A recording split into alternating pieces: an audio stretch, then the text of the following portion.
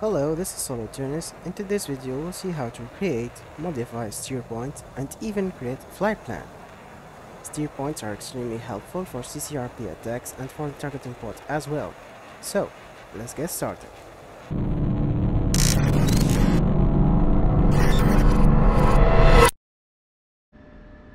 create a steer point, just press 4 on the ICP.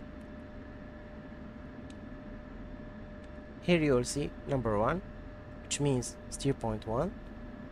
This is for the latitude, this is the longitude, this is the elevation.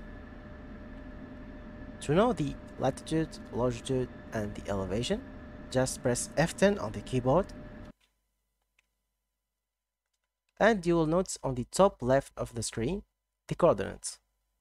And for the F16, we need to switch the coordinates type by pressing left alt W to this one because we need those three digits at the end to create steer points for our Viper. So this is the latitude, this is the longitude, and this is the elevation. So for this example, I'm going to create three steer points. The first one will be on this target here, second one for this combatant, and for the last steer point will be the Tinian International.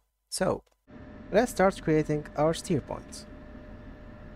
So first for north 14 10 4 2 5 then enter double down east 1 4 5 14 5 9 3 if you made the mistake just press the recall button and retype your desired coordinate.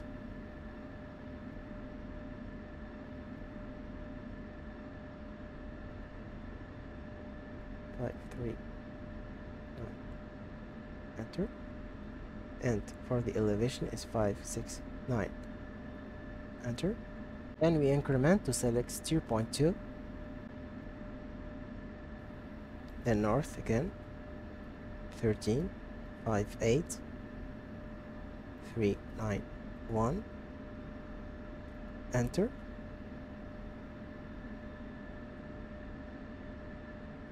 East. 1 4 5 3 0 2 2 7 enter. And since it's a ship we just leave the elevation to 0 feet.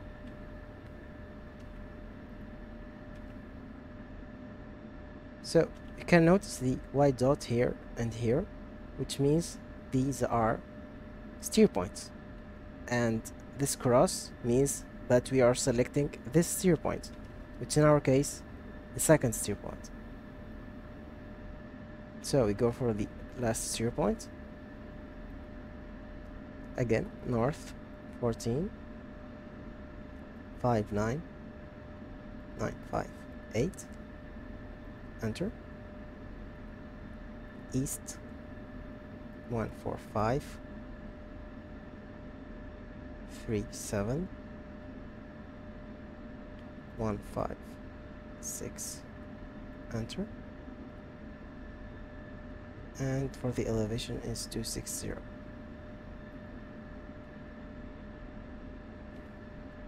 so let's say I want to modify the third steer point which means rather than landing in Tinian International I want to go back to the Andersen Air Base which is here. So 35 0 2 6 enter. East 144 5 5 triple seven. Enter. As you can see here the third steer point become our base. And the elevation is 538 then enter. So let's skip the taxi and the takeoff. So see you on the air we can use the F-16's autopilot to fly directly towards our steer points which in our case, target points. So we can focus on setting up our targeting pod and our bombs profiles. So, autopilot pitch switch to altitude hold and the autopilot roll switch to down position. You will notice our jet is flying towards our steer point. So in the meantime, at ground master mode and you open our targeting pod page and you will see that the targeting pod is automatically slaved to the target point.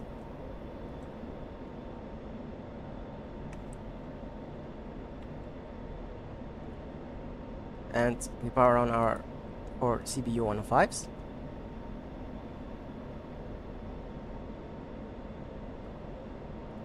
and we'll just wait until we get to the range. In the meantime, I'm going to explain those symbologies. So, 1 minute, 3 seconds to bomb release, 2 minute, 2 seconds to reach our steer point, the heading is 47 towards our steer point, and the range is 14 miles.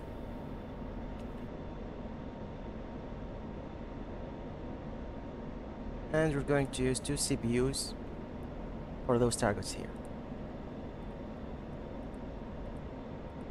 And let's set 100 feet distance between each one.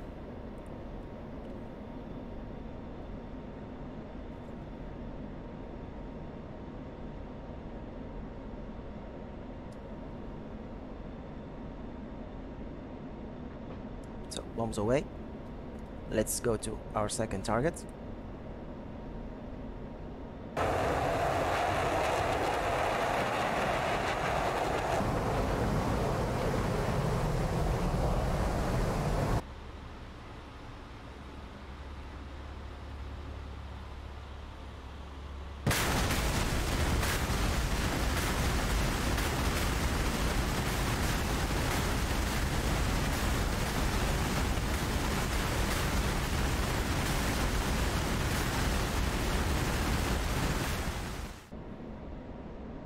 As you can see, the use of both the autopilot and the target points reduced the amount of tasks that we have to do at the same time, which helped us engaging the enemy with no added stress.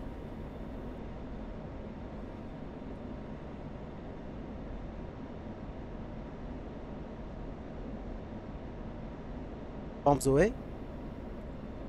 Now let's head back to our base.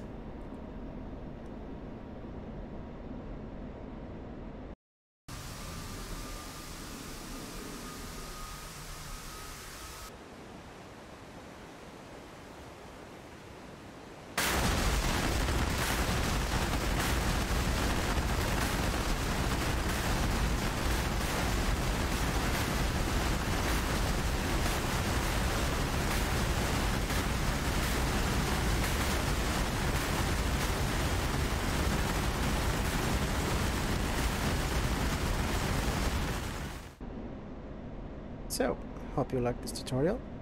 Stay safe, see you next time.